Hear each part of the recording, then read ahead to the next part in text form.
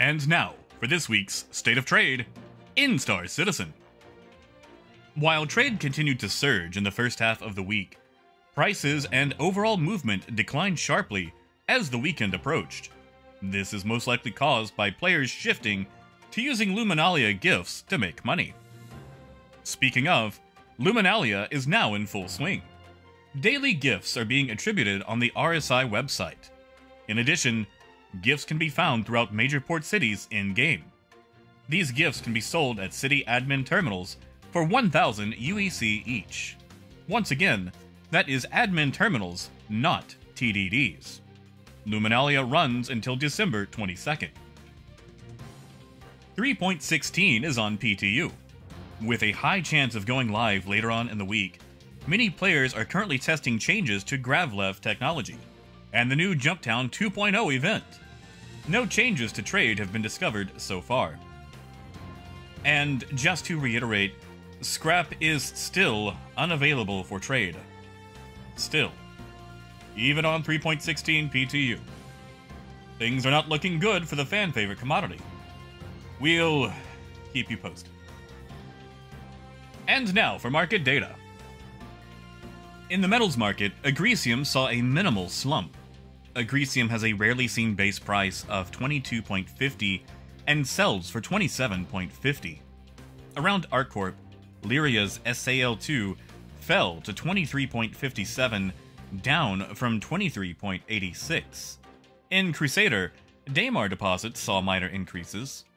Hydro ore rose to 24.28, up from 24.18.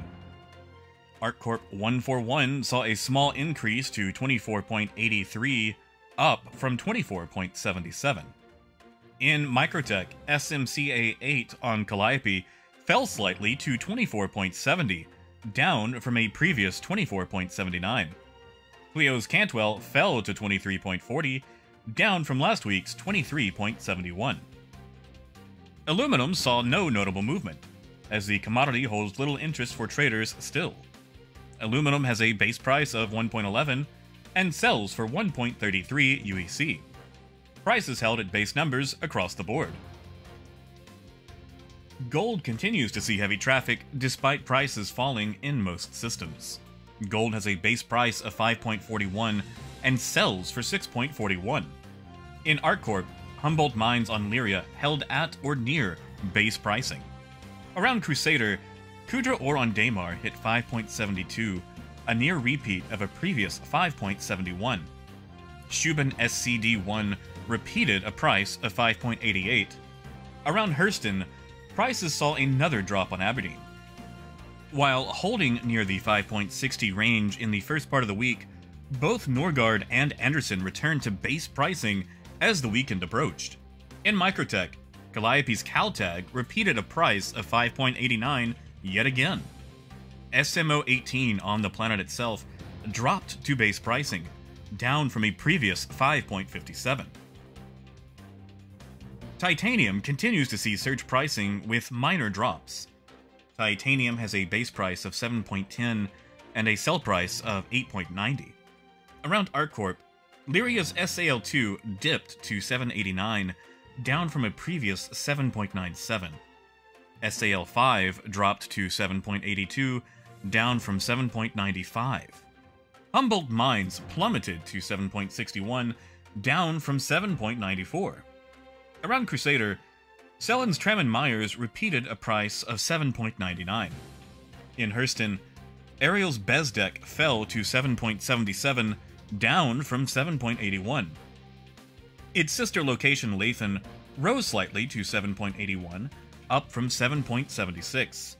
Around Microtech, Clio's Cantwell saw a slight dip to 7.96, down slightly from 7.99. Tungsten sees a slowdown in movement. Tungsten has a base price of 3.55 and sells for 4.06. In ArcCorp, all locations returned to base pricing for the majority of the week. Around Crusader, Daymar's ArcCorp 141 fell slightly to 3.66, down from 3.68. Shubin SCD1 on Daymar rose to 3.80, up from 3.75. Around Hurston, Arial's Bezdek and Lathan returned to base pricing. Around Microtech, Kaltag on Calliope repeated a price of 3.80 once again. SMCA 8 on Calliope repeated a price of 3.80 as well. Legal Vice sees distilled spirits with heavy movement still, despite price drops. Distilled Spirits has a base price of 4.06 with a sell price of 5.56 at major ports. In Crusader, Gallete Family Farms on Cellin fell to 4.51, down from 4.66.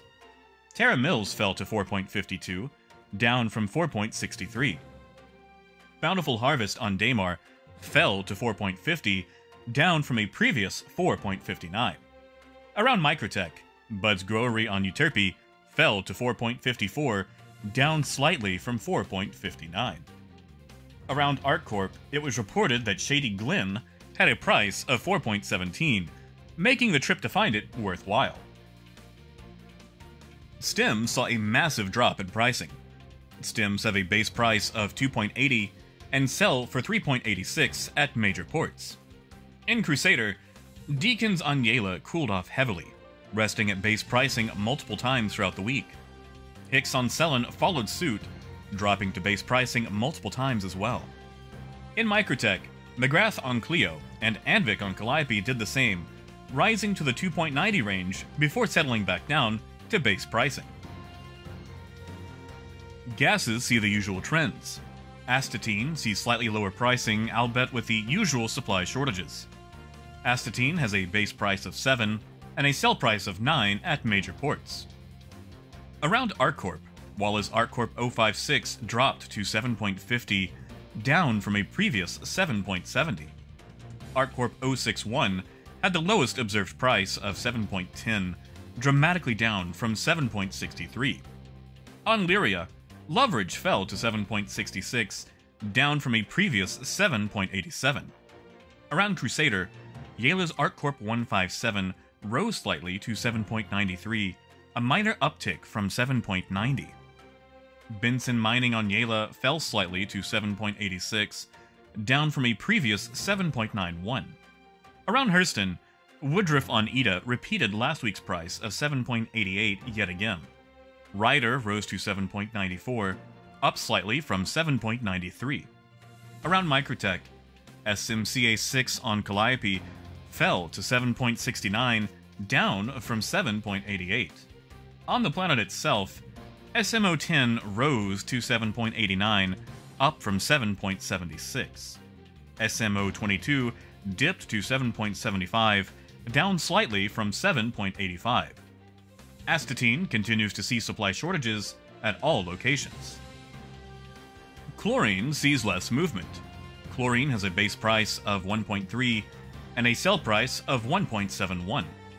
Around Crusader, ArcCorp 157 on Yela fell to 1.41, down from 1.45. All other locations held or returned to base pricing. Fluorine saw a repeated reduction in movement. Fluorine has a base price of 2.35 and a sell price of 2.95. All locations held to base pricing throughout the week, and the sell price at outposts such as Deakins and Hickes even returned to maximum pricing multiple times throughout the week.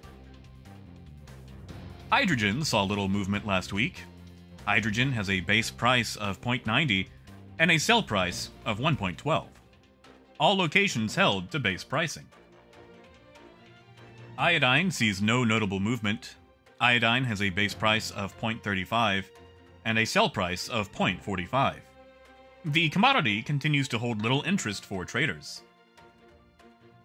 In the mineral market, Beryl saw a slight uptick in movement. Beryl has a base price of 4.06 and a sell price of 0.35. Around Crusader, ArcCorp 141 on Daymar fell to 4.09, down from a previous 4.12. Kudre Ore followed suit at 4.09, up from base pricing. Around Microtech, Calliope's SMCA 8 fell to 4.09, up from last week's 4.14. Corundum saw minor movement. Corundum has a base price of 2.30 and a sell price of 2.71. Around ArcCorp, SAL2 on Lyria rose slightly to 2.33. Humboldt also saw a price increase to 2.33 as well. In Crusader, Tram & Myers on Cellin saw the price of Corundum rise slightly to 2.36, up from 2.34. Diamond sees a major fall off.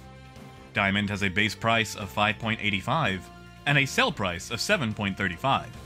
Around ArcCorp, Wala's 045 fell to 6.26, down from a previous 6.44. ArcCorp 056 followed at 6.32, down from 6.46. ArcCorp 048 actually saw base pricing of 5.85, down from 6.23. On Lyria, SAL5 fell slightly to 6.26, down from 6.38. At Crusader, Tram & Myers rose to 6.51, up from 6.38. Hurston sees price reductions as well. On Magda, Hahn fell to 6.28, down from 6.53. Perlman fell to 6.43, down from 6.45. On the planet itself, Edmond was at 641, down from 650. Oparei fell to 5.92, down from 6.32. Pinewood fell to 6.21, down from 6.42. Thedus fell to 6.24, down from its previous 6.34. Around Microtech, Deltana on the planet itself fell to 6.01, down from 6.41. SMO 13 fell to 6.05, down from 6.33. Keep in mind that prices will vary wildly after purchase due to small refresh rates. Laranite sees its usual movement. Laranite has a rarely seen base price of 25 and a sell price of 31.01. Around ArcCorp, ArcCorp 045 on Wala fell to 27.16 down from 27.29. ArcCorp 056 on Wala fell to 27.59, down from 27.89. In Crusader, Tram & Myers rose to 27.75, up from 27.67. Around Hurston, Bezdek on Arial fell slightly to 27.82, down from 27.84. Its sister location Lathan rose to 27.84, up from a previous 27.67. Quartz saw little movement. Quartz has a base price of 1.25 and has a sell price of 1.55. All locations were at or returned to base pricing. Medical supplies saw a decrease in movement. Medical supplies have a rarely seen base price of 15.75 and a sell price of 19.25 at major ports. Around Crusader, Deakins on Yela fell to 17.05, down from 17.11. On Cellin, Hickes fell to 17.16, down from 17.40. In Microtech, Anvik on Calliope fell to 16.64, down from 17.28. On Clio, McGrath tumbled to 16.60, down from a previous 17.40. Processed food continues to see movement, although prices have held firm. Processed food has a base price of 1.21 and a sale price of 1.56. Scrap is still unavailable for trade. Scrap has a base price of 1.35 and a sell price of 1.85. Until CIG rolls back their previous hotfix, scrap cannot be sold at any location in game. Do not purchase scrap until further notice. Agricultural supplies saw a reduction in movement. Agricultural supplies have a base price of 1 with a sell price of 1.20. All locations held at or returned to base pricing throughout the week. And now for next week's forecast. With the introduction of 3.16 PTU, highly profitable Luminalia gifts, and Jumptown 2.0 on the horizon, expect profits and prices to be a little easier. Astatine, titanium, and laranite will still see high pricing and supply issues, but commodities such as fluorine and gold should leave traders breathing a little easier. Expect diamond to continue to drop in price as well. However, players will still make more money cashing in on Luminalia gifts until the 22nd. Consider taking advantage of this event for the time being. And now for this week's trade, sorry, Luminalia tip. Are you having an issue where you've just sold all your presents, but are unable to store another gift box? Instead of selecting Store, select Grab or Inspect.